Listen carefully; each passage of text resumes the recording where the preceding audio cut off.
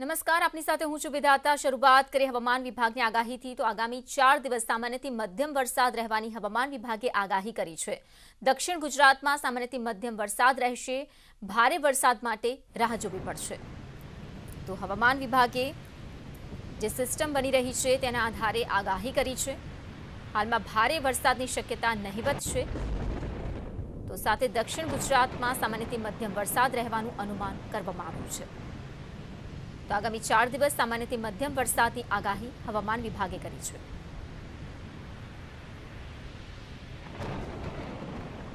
માહિતી આપશે સંવાદદાતા વિભુ. વિભુ, ચાર દિવસ માટે આગાહી કરવામાં આવી છે હવામાન વિભાગ તરફથી. શું વધુ જાણકારી?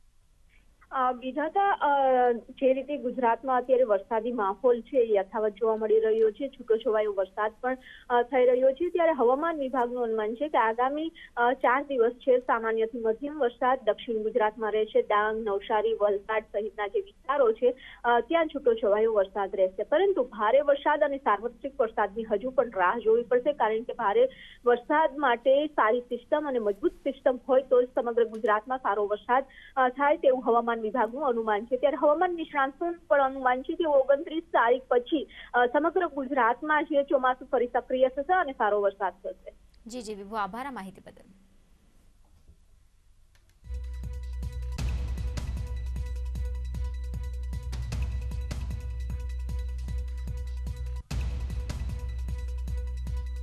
એએમસીના વિપક્ષી નેતા મામલે રાજકીય ગરમાવો આવી રહ્યો છે. એઆઈએમઆઈએમ દ્વારા વિપક્ષી નેતા પદ માટે દાવો કરવામાં આવ્યો છે. એઆઈએમઆઈએમએ કોંગ્રેસ કોર્પોરેટરનો સંપર્ક પણ કર્યો હોવાનું સૂત્રો તરફથી જાણવા મળી રહ્યું છે. તો કોંગ્રેસે હજુ નેતા વિપક્ષનું નામ જાહેર નથી કર્યું. એઆઈએમઆઈએમના કુલ સાત કોર્પોરેટર ચૂંટાયા છે. તમામ સાત લોકોએ મેયરને આ અંગેની રજૂઆત પણ કરી છે. ત્યારે હાલ કોંગ્રેસના ચોવીસ કોર્પોરેટર છે. છેલ્લા ચાર મહિનાથી વિપક્ષના નેતાની નિમણૂક નથી થઈ, પરંતુ હવે આ મામલો ગરમાઈ રહ્યો છે.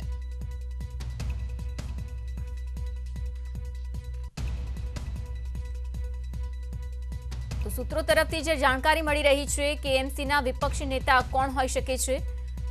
તો તેમાં એઆઈએમઆઈએમ દ્વારા વિપક્ષ નેતા પદ માટેનો દાવો કરવામાં આવ્યો છે.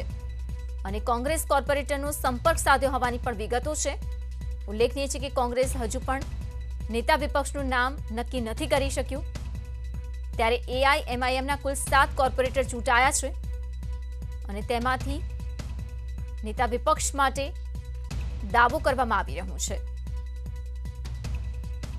તમામ સાત સભ્યોએ સાત લોકોએ મેયરને રજૂઆત કરી છે. હાલ કોંગ્રેસના ચોવીસ કોર્પોરેટર છે. છેલ્લા ચાર મહિનાથી વિપક્ષના નેતાની નિમણૂક નથી થઈ.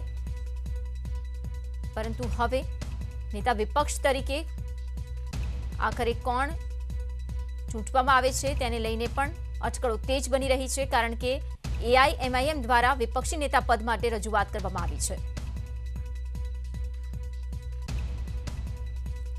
તેના માટે એઆઈએમઆઈએમએ કોંગ્રેસ કોર્પોરેટરનો પણ સંપર્ક કર્યો છે.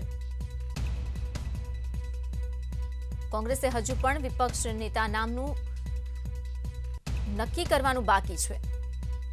તો જાહેર નથી થયું. અને તેવામાં એઆઈએમઆઈએમના કુલ સાત કોર્પોરેટર જે ચૂંટાયા છે, તે તમામ સાત લોકોએ મેયરને રજૂઆત કરી છે. જોવું રહ્યું કે આ રજૂઆત બાદ આખરે નેતા વિપક્ષને લઈને શું નિર્ણય લેવાય છે? પરંતુ હાલમાં તો આ મામલો ગરમાયો છે. માહિતી આપશે સંવાદદાતા પ્રણવ. પ્રણવ, જણાવશો કે હાલમાં જે દાવો કરવામાં આવી રહ્યો છે એઆઈએમઆઈએમ દ્વારા તેને લઈને શું વધુ વિગતો જાણવા મળી રહી છે અને મેયરની જે રજૂઆત થઈ છે, ત્યારબાદ શું નિર્ણય લેવામાં આવી શકે છે? વિદ્યાર્થી, ચોક્કસ મને કે અમદાવાદ વિશ્વ કોર્પોરેશનની રાજનીતિમાં ગરમાવો આવ્યો છે. જે રીતે મીમ એટલે એએમઆઈ પાર્ટી જે છે, તેના સાત હાઉ કાઉન્સિલરો છે વર્તમાનની અંદર. તે તમામ લોકોએ ગઈકાલે મેયર સમક્ષ રજૂઆત કરી હતી, કારણ કે અમદાવાદ મહાનગરપાલિકાની જે સામાન્ય સભા હોય છે, તેના મુખ્ય અધ્યક્ષ તરીકે અમદાવાદ શહેરના પ્રથમ નાગરિક એ મેયર હોય છે. મેયરને રજૂઆત કરવામાં આવી છે કે વિપક્ષ નેતા તરીકે મીમના એટલે એએમઆઈના જે ઉમેદવાર છે, તેને અહીં બનાવવામાં આવે. કારણ કે કોંગ્રેસ પાર્ટી છેલ્લા ચાર મહિનાથી પોતાના ઉમેદવાર જાહેર નથી કરી રહી. તેને લઈને કોંગ્રેસ પાર્ટીની સામે હવે મીમ સામે આવી છે. જે રીતે રાજકીય બદલાવ થઈ રહ્યો છે આપણે ભૂતકાળમાં જોયું હશે કે સુરતમાં પણ કોંગ્રેસ પાર્ટીએ પોતાનો વિપક્ષ નેતા ન રહી શકે તેવી પ્રકારની સ્થિતિ જોવા મળી હતી ત્રીજા પક્ષ તરીકે આમ આદમી પાર્ટી ત્યાં જોવા મળી રહી હતી. હવે એવું જ લાગી રહ્યું છે કે અમદાવાદ શહેરમાં પણ કોંગ્રેસ પાર્ટીના વિપક્ષના નેતા નહીં બની શકે કારણ કે એએમઆઈ પોતાનો દાવો છે અહીં કરી દીધો છે અને આજે સામાન્ય સભા પણ મળવાની છે. જો એની અંદર પ્રસ્તાવ મૂકવામાં આવશે અને કોઈ પ્રસ્તાવ ઉપર સહમતિ સદાઈ જશે, તો મીમના જે ઉમેદવાર છે મીમના જે કાઉન્સિલર છે, તે મનાઈ રહ્યું છે કે વિપક્ષ નેતા બની શકે કોંગ્રેસ પાર્ટીની નિષ્ફળતાઓને કારણે જે જે કહી શકાય કે મીમ છે, પોતાનો દાવો કરી રહી છે. કોંગ્રેસ પાર્ટી છેલ્લા ચાર મહિનાથી પોતાના વિપક્ષ અત્યારે જાહેર નથી કરી શકતી. કારણ કે તેઓને જે અંતર વિખવાદ ચાલી રહ્યો છે ધારાસભ્યો વચ્ચેના વિખવાદ અને સાથે જ માત્ર ચોવીસ કાઉન્સિલરો છે. તેમ છતાં પણ કોંગ્રેસ કોંગ્રેસ પાર્ટી પોતાના વિપક્ષ નેતા જાહેર ન કરતા આખરે એએમઆઈ એટલે ઓવેસીની પાર્ટીએ પોતાનો વિપક્ષ નેતા તરીકે દાવો અહીં કરી દીધો બિલકુલ. કોંગ્રેસને હંમેશા આંતરિક વિખવાદ જે છે તે નડે છે અને તેના કારણે જ નબળું પડે છે કોંગ્રેસ અત્યાર સુધી જે નુકસાન વેઠવાનો વારો આવ્યો છે તેનું કારણ પણ આ જ રહ્યું છે. પરંતુ હવે એમઆઈએમ દ્વારા જે દાવો કરવામાં આવ્યો છે અ, તે બાદ હવે શું પક્ષમાં ખાસ એક્શન મોડમાં આવી શકે છે લોકોને? આ બાબતને લઈને કોઈ વિચાર અથવા તો બેઠક અને તાત્કાલિક અંગેનો કોઈ નિર્ણય લેવામાં આવી શકે? જ્યારે ચોક્કસ માની શકાય. કારણ કે જે રીતે મીમ એટલે સાત જ માત્ર કાઉન્સિલ હોવા છતાં પણ તેઓએ પોતા વિપક્ષ નેતા તરીકેનો દાવો કરી દીધો છે. હજી કોંગ્રેસ પાર્ટી કોઈ પ્રોસેસ પણ નથી કરી. એ ચોક્કસ મને કે જે રીતે રાજકીય ગલિયારોમાં જે રીતે ગરમાવો આવ્યો છે સતત સમાચારો બહાર વહેતા થયા છે અને મેયરને પણ તે લોકો આવેદનપત્ર આપીને લેખિતમાં એટલે સત્તાવાર રીતે લેખિતમાં આવેદનપત્ર આપ્યું છે. તેથી ચોક્કસ મને કે કોંગ્રેસ પાર્ટીમાં હલચલ વધી હશે અને કોંગ્રેસ પાર્ટીના નેતાઓ પણ આનું મંથન કરવાની શરૂઆત કરી દીધી હશે. અ, ન્યૂઝ એટીન સાથે જ હમણાં કોંગ્રેસના વરિષ્ઠ સાથે વાતચીત થઈ તેઓએ સ્પષ્ટપણે કહ્યું હતું કે બે દિવસની અંદર કોંગ્રેસ પાર્ટી પોતાના વિપક્ષ નેતા તરીકે નામ પસંદ કરશે. પરંતુ સમય સમજવા જેવો છે કે કેમ નથી થતું. કારણ કે કોંગ્રેસ પાર્ટીના જ નેતાઓની આંતરિક કલહ જે છે અમદાવાદ શહેરના જે ચાર ધારાસભ્યો છે તેની અંદર પણ જે જૂથવાદ ચાલી રહ્યો છે મારા વ્યક્તિને વિપક્ષના નેતા બનાવો એ પ્રકારની જે ડિમાન્ડ થઈ રહી છે અને તેને લઈને જ કોંગ્રેસ પાર્ટીને હાલ નુકસાન થઈ રહ્યું છે. કોંગ્રેસ પાર્ટીને જે બે હજાર પંદરમાં જે ચૂંટણી ચૂંટણીઓમાં જે પરિણામો આવ્યા હતા ઓગણપચાસ જેટલી સીટો આવી હતી પરંતુ આ વખતે માત્ર ચોવીસ સીટોમાં સમેટાઈ ગઈ હતી. અને સૌથી મોટી વાત એ છે કે જે કોંગ્રેસ પાર્ટીના મુસ્લિમ બેલ્ટના જે મતદારો હતા તેમાં પણ ઓવેસીની પાર્ટીએ પોતાનું વર્ચસ્વ જમાવ્યું છે જમાલપુર જેવી બેઠકોમાં ચાર ચાર બેઠકો જીતી હતી અને પશ્ચિમી વિસ્તારમાં જે બેઠકો. સરખેજ બાજુના વિસ્તારની અંદર પણ જીતી હતી. આભાર તમામ માહિતી બદલ.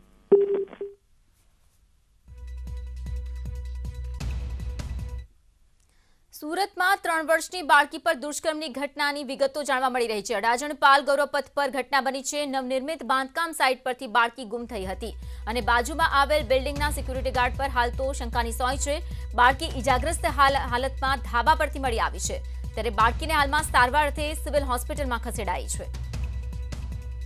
તો સુરતમાં વારંવાર આ પ્રકારની ઘટનાઓ સામે આવી રહી છે. જ્યાં વધુ એક ગંભીર ઘટના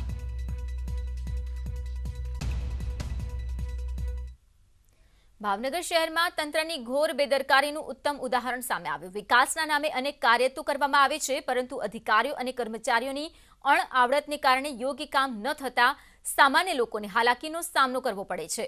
શહેરમાં થોડા દિવસ પહેલા જ તંત્ર દ્વારા નવા સીમાંકન કરેલા ગામોમાં પાઇપલાઇન નાખવાનું શરૂ કરાયું હતું અને કામ ફટાફટ પૂરું કરવાની લાહેમાં અધિકારીઓએ રોડનું યોગ્ય પુરાણ ન કરતા હાલ સમગ્ર રોડ ખાડા જ્યાં જોવા મળી રહ્યા છે નવા જ બનાવેલા રોડ હાલ ખાડા અને તૂટેલી હાલતમાં જોવા મળી રહ્યા છે, જેમાં ટોપ થ્રી સર્કલથી તરસમિયાવાળો રોડ બનાવ્યા બાદ સાઈડમાં ડ્રેનેજનું કામ કરતા રોડની સાઈડમાં તિરાડો પડી ગઈ છે. તો અકવાડામાં નવો રોડ બ્રિજ જે છે તૂટી ગયો છે અને છતાં પણ કોર્પોરેશનના અધિકારીઓ અને શાસકો પ્રજાની હાડમારીનો તમાશો જોયા કરે છે. રસ્તા, ગટર, આ જે કોઈ વસ્તુનું કામકાજ થઈ રહ્યું છે, અણઆવડતની જેમ, હાવ કોઈ સુવિધા ન દે એવું કે જેમ એમ માટીને આ કાદવ કિસડને આવું બધું નાખીને જતા રહ્યા છે. એ લોકોને કોઈને જાણ કરીએ કે ભાઈ આ રીતે કે તમે રોડ રસ્તાને સાવ ખરાબ ન કરો. વ્યવસ્થિત તમને આમાં સુવિધા પૂરી પાડો. તો અમારું કોઈનું સાંભળવા એ લોકો તૈયાર નથી.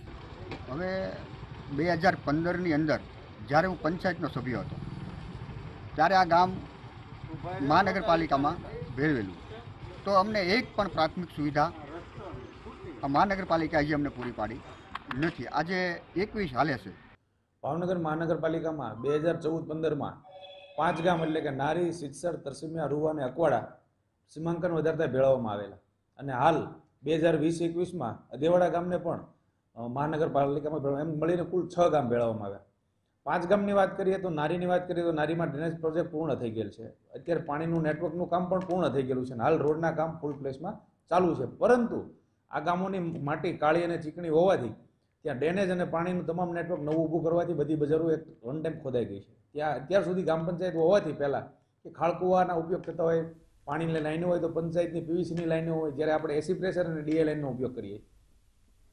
રિલાયન્સ ઇન્ડસ્ટ્રીઝે મોટી જાહેરાત કરી છે. રિલાયન્સ હવે સોલર પેનલના ઉત્પાદનમાં પણ રોકાણ કરશે. રિલાયન્સ બે હજાર ત્રીસ સુધીમાં સો ગીગાવોટ સોલર એનર્જી ઉત્પાદન કરશે. રિન્યુએબલ એનર્જીમાં સાઠ હજાર કરોડનું રોકાણ કરશે. સાઠ હજાર કરોડ રૂપિયાના ખર્ચે ઉત્પાદન શરૂ કરાશે.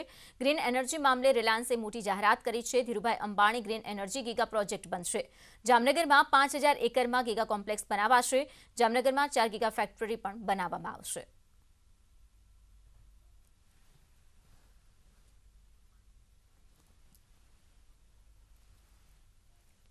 We have started work on developing the Dhirubhai Ambani Green Energy Giga Complex on 5,000 acres in Jamnagar. It will be amongst the largest such integrated renewable energy manufacturing facilities in the world. Jamnagar was the cradle of our old energy business. Jamnagar will also be the cradle of our new energy business. તો તરફ મુખ્યમંત્રી Vijay Rupani Reliance industries દ્વારા Dhirubhai Ambani green energy complex સ્થાપવાની જાહેરાતને આવકારી છે. તેઓએ tweet કરીને જણાવ્યું છે કે રિલાયન્સના મહત્વાકાંક્ષી પ્રોજેક્ટથી ગુજરાત વિશ્વના ગ્રીન એનર્જી મેપ પર મહત્વનું સ્થાન ધરાવતું રાજ્ય બનશે અને રાજ્યના આર્થિક વિકાસને પણ બળ મળશે. તો બીજી તરફ ઊર્જા મંત્રી સૌરભ પટેલે રિલાયન્સની આ જાહેરાતને નવી પહેલ ગણાવી.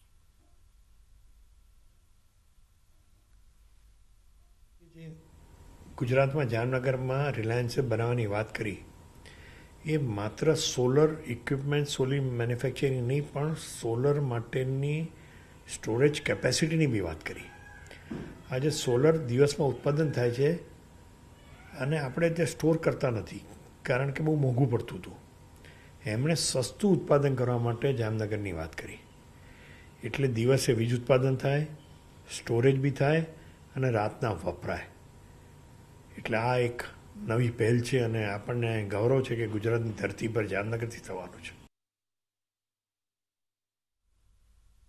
રિલાયન્સ જીઓએ ગૂગલ સાથે મળીને લોન્ચ કર્યો છે Jio phone next smart. Reliance ઇન્ડસ્ટ્રીની ચુમ્બાળીસમી વાર્ષિક સામાન્ય સભામાં મુકેશ અંબાણીએ આ એલાન કર્યું, જેને ગણાવવામાં આવ્યો વિશ્વનો સૌથી સસ્તું smartphone.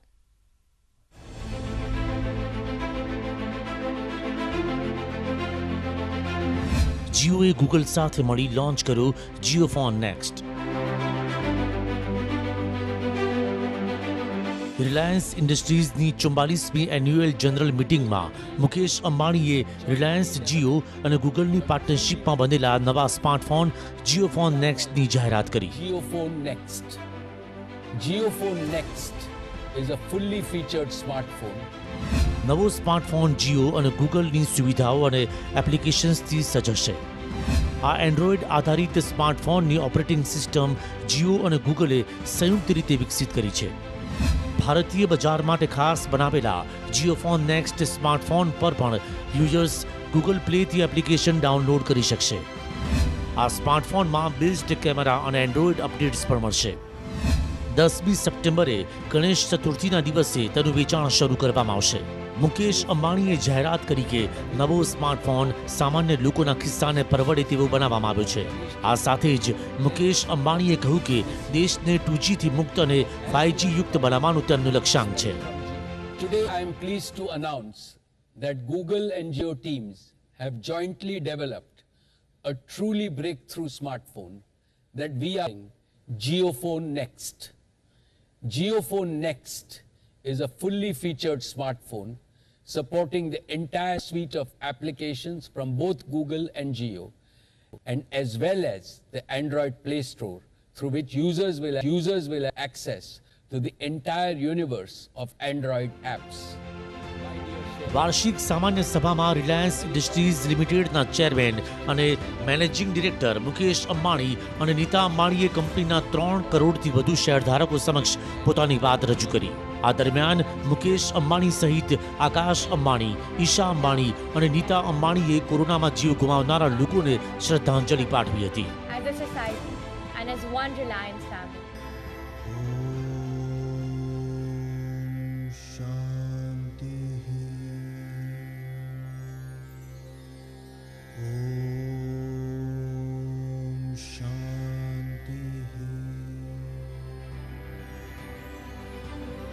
Happy to report. Mukesh અંબાણીએ રિલાયન્સ બિઝનેસ અને ફાઇનાન્શિયલ રિપોર્ટ રજૂ કર્યો. કંપનીએ પાંચ પોઈન્ટ ચાર લાખ કરોડ રૂપિયાની કોન્સોલિડેટેડ રેવન્યુ મેળવી છે જ્યારે ત્રેપન હજાર સાતસો ઓગણચાલીસ કરોડ રૂપિયાનો નફો થયો છે જે ગત વર્ષ કરતાં આશરે ઓગણચાલીસ ટકા વધારે છે. રિલાયન્સે એકસો સાત દેશમાં એક લાખ પિસ્તાલીસ હજાર કરોડ રૂપિયાની નિકાસ કરી હતી જ્યારે પંચોતેર હજાર લોકોને રોજગારી આપી છે. Challenging environment. Reliance added nearly 75,000 new jobs in the past year. વાર્ષિક સામાન્ય સભાને સંબોધતા નીતા અંબાણીએ રિલાયન્સ ફાઉન્ડેશન દ્વારા કોરોના કાળમાં કરેલા કામોનો ઉલ્લેખ કર્યો. નીતા અંબાણીએ કહ્યું કે કોરોના સામેની લડાઈ માટે રિલાયન્સ ફાઉન્ડેશનમાં પાંચ મિશન શરૂ કર્યું છે. આ અંતર્ગત mission oxygen mission covid infra mission Anna Seva mission employ care અને મિશન વેક્સિન સુરક્ષા સામેલ છે. એજીએમમાં નીતા અંબાણીએ શેરહોલ્ડર્સને સંબોધિત કરતા કહ્યું કે આ વર્ષે મુંબઈમાં જીઓ ઇન્સ્ટિટ્યૂટ શરૂ થશે Geo Institute is envisioned to be an exemplary academic institution with a world class platform for research, innovation, and lifelong learning. It will prepare the next generation of global leaders who will significantly contribute to the advancement of India and the world. Despite the pandemic, I am pleased to announce that Geo Institute is all set to commence academic sessions at the campus in Navi Mumbai this year itself. That India is destined to emerge as one સાથે જ મુકેશ અંબાણીએ એજીએમમાં Reliance industries global થવાની પણ જાહેરાત કરી મુકેશ અંબાણીએ કહ્યું કે સાઉદી અરામકોના યાસીર અલ રુમાયનને રિલાયન્સ બોર્ડમાં સામેલ કર્યા છે. તે ગ્લોબલ બનવાની શરૂઆત છે. ટૂંક સમયમાં જ ગ્લોબલ પ્લાનની જાહેરાત કરવામાં આવશે.